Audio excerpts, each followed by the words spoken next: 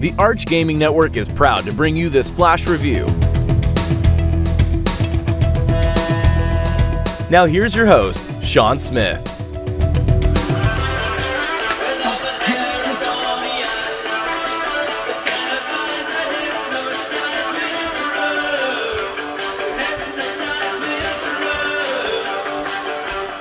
And I ran, I ran so far away. I just ran, I ran all night and day. I couldn't get away. Uh, guys, you're you're supposed to let me know when we're rolling. We're not rolling. We are rolling. Oh, hi, hi everyone. Uh, uh, well, don't worry about it, uh, guys. We'll we'll cut that out in post production. That that'll be fine. we can't. We can't cut it out in post production. That that doesn't sound right. Uh, well, um, hi everyone. Uh, it's all right. Uh, hi, today uh, we are taking a look at the game uh, Flock. Flock. That that's why I was listening to Flock of Seagulls uh, because today we're taking a look at the game Flock, which is uh, published by AEG.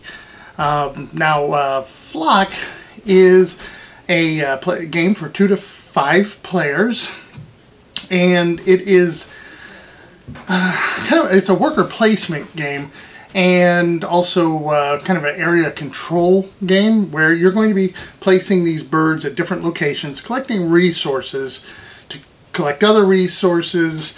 You're going to be fighting it out on a dominance track uh, so that you can get ahead on this scoring track, and then you're going to compete at some point during each round for the most points. And uh, after three rounds, whoever has the most points is going to be the winner. So, why don't we take a look at uh, how the game plays, how it's set up, and I'll give you my thoughts on the other side. All right, uh, cut. Are we are we good? Are we good? Good. So.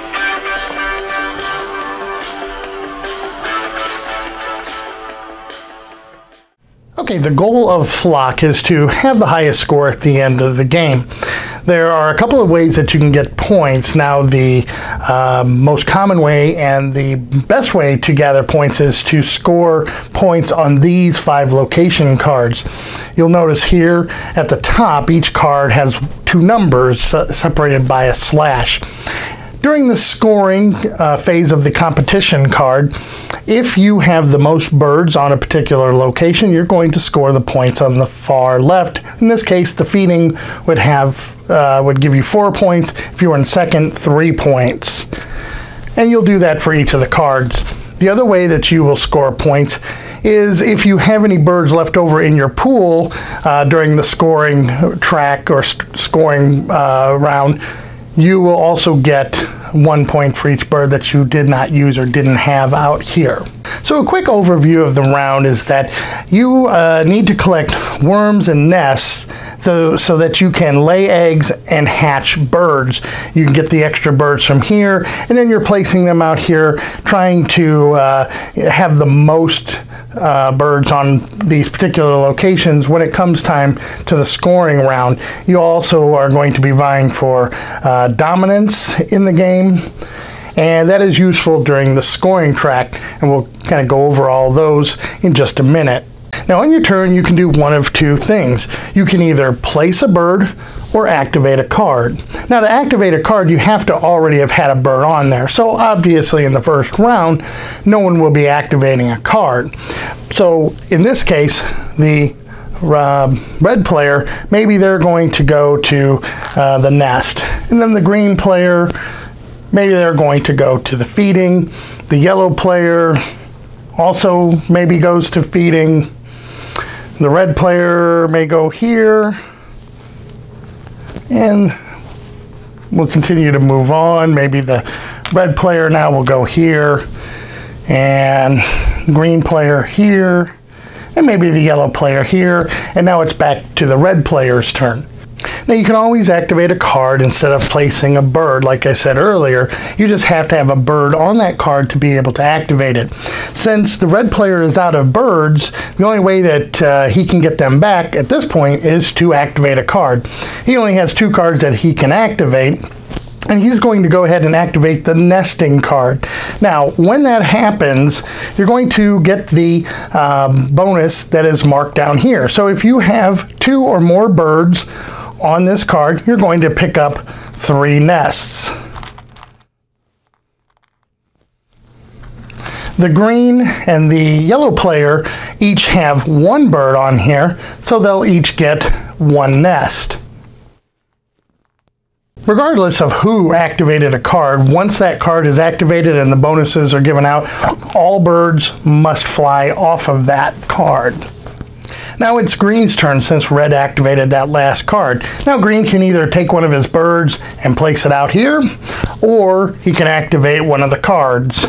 The green player is going to go to the dominance track for now. We'll talk about that in a little bit. Now it's Yellow's turn, and Yellow's going to go ahead and go to the dominance card. Red player can now uh, maybe adds one here. And now the green player is out of bird, so he's going to go ahead and activate the feeding card. So since he has two birds on it, he'll get three worms. The uh, yellow player also has two birds, so that's three worms, and the green player as well. Now, for these resources, for the worms, nests, and the eggs, you can never have more than six at any time. And that's six of each kind, not six total. The birds now will fly off and go back to their owners. All right, the players have played a few more rounds, and it's back to the red player. And now the red player is going to uh, activate the laying card. When he does that, because he has two birds on here, he can turn in two nests to get three eggs.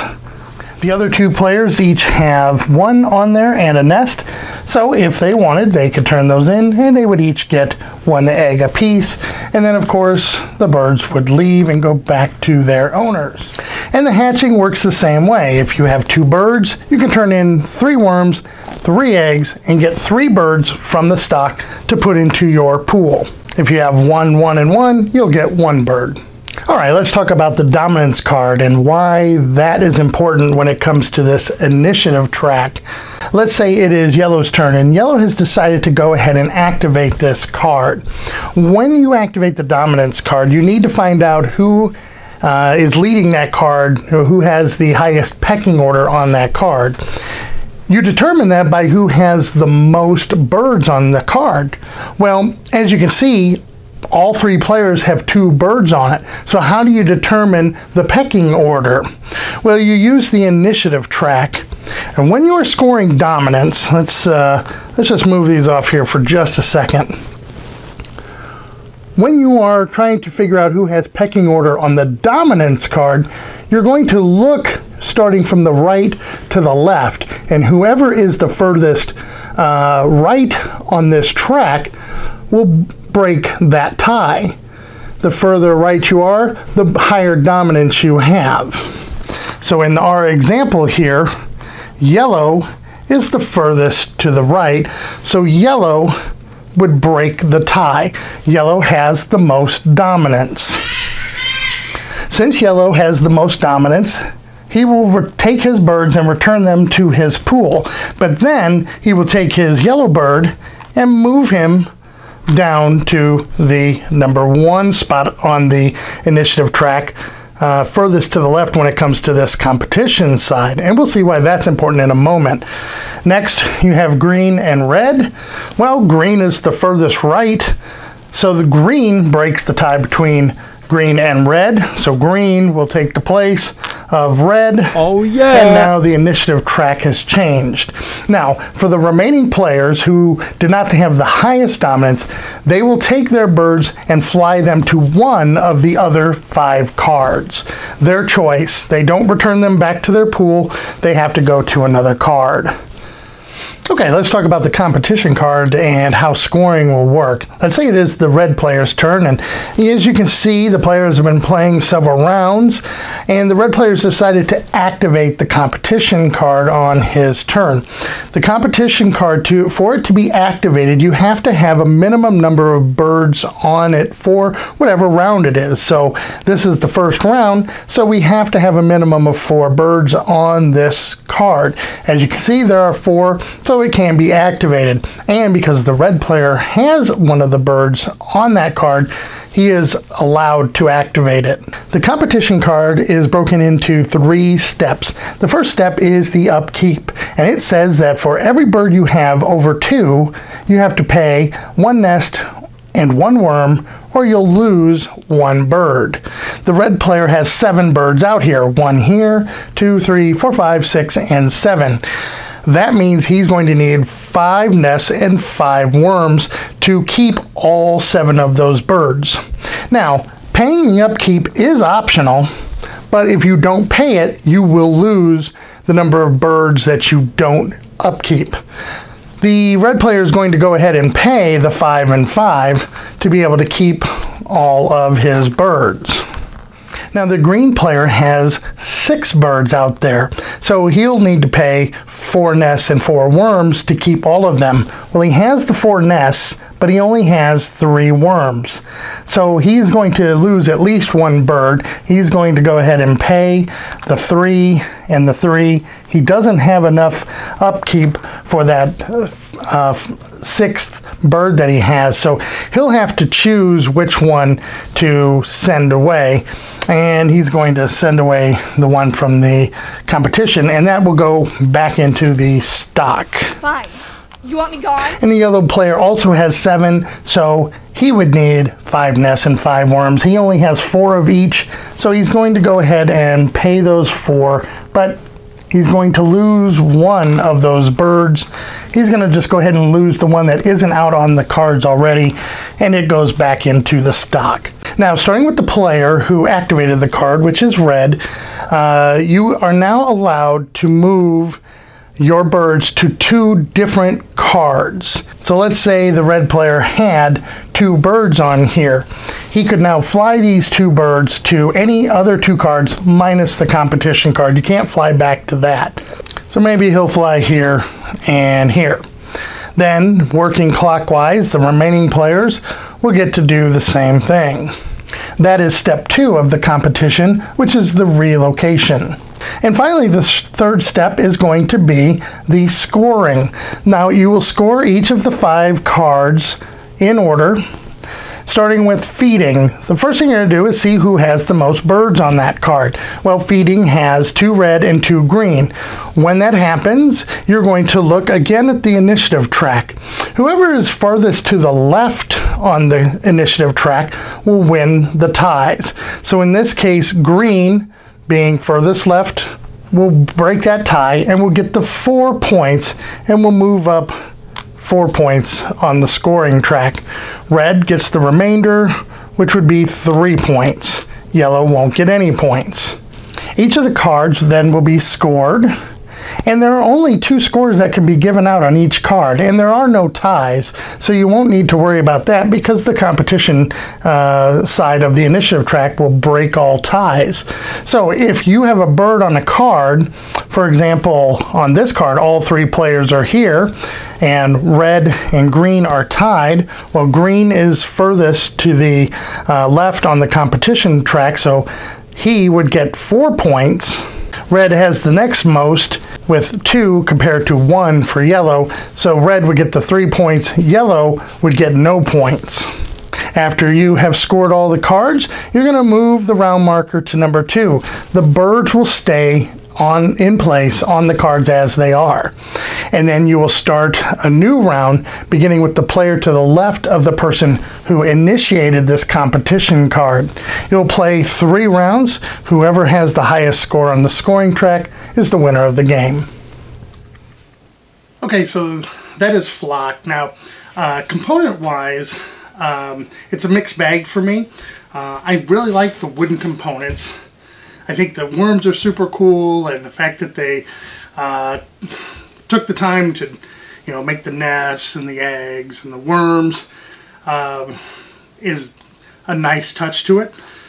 The location tiles are really nice, thick stock. Um, they and, and I like the matte finish on them. I like the artwork on them as well. Um, I'm not really sure why they went with individual location cards instead of just a game board. I know that the dominance and the scoring track are double-sided. I don't know what that kind of adds to the cost to have printed that on both sides, but I don't know, personally, um, if they were going to go with uh, these single, well, since they did go with these single cards, you know, maybe they could have went with a, you know, a smaller box um, because there's a lot of air in in the box, and so I'm not sure what the point of that was. Also, I do not like the scoring track. I can't believe I'm saying this, but as far as the scoring track goes, I wish they would have used cubes. Not that I have anything against cubes, I just, you know, sometimes when you go that extra mile for the different components that you put in, you know, I like that. But to use the birds on this scoring track is very fiddly. When you have the birds here and here and they're moving around, uh, it's just, I don't know, it's, like I said, it's fiddly and they don't fit on the squares, so I'd rather they went with cubes. Really, I'd rather they just had gone with a game board and put a scoring track around that, because this I, I don't, I don't like. The initiative track, uh, I like the concept of it. I wish they wouldn't have put the numbers on there, because it gets a little wonky when you're explaining it. Oh, I'm in first so uh, what do you mean dominance goes from this way and initiative? Okay, yeah, there's arrows on here, but if they just, I mean, what's they don't need the you don't need the numbers. If you're just going to do the arrows, um, then again, you know, it, it gets it makes it a little confusing when explaining it to someone for the first time. But it's you know that's that's a minor issue. As far as the gameplay is concerned, for a worker placement game it's pretty light. There's not a lot of meat on this bone here. So when it comes to replayability, I don't know, there's just, it's just not there for me. Um, there just isn't enough interesting things for you to do. I mean, you're collecting worms, and then you're collecting the nests, and then you're collecting eggs, and get more birds. You know, rinse, lather, repeat, or what is it? I don't, I don't Shampoo. rather lather peat. You know what I'm talking about. I don't know, but what I do know is that um, it, it is a little on the light side. Also, as far as playing with two players, um, it's just not as much fun. I mean, you have some of these uh, cards that score four points and three points. Every card scores two times or two places. So there's only one difference between you know, some of these tiles when you are doing the scoring. And so I don't think that is quite enough for me when you are playing a two-player game. I think this game would best be played with three to five players. I think you'll have better battles on the competition, or on, well, on the competition and on the dominance track. And again, the dominance track is kind of neat how you have to, you know, try to take control of that dominance track so that you can move up on the competition track to help you score at the end of the game.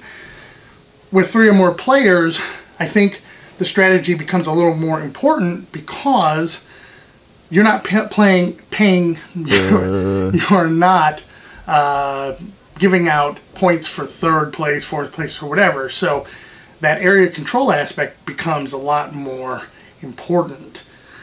Uh, so I would think that if you're playing this game with um, some new gamers or people who aren't familiar with worker placement games, and if you had three or more people, I think this would be a good introduction to get people into like a worker placement game and just to get them familiar with the type of mechanic that is with that sort of game.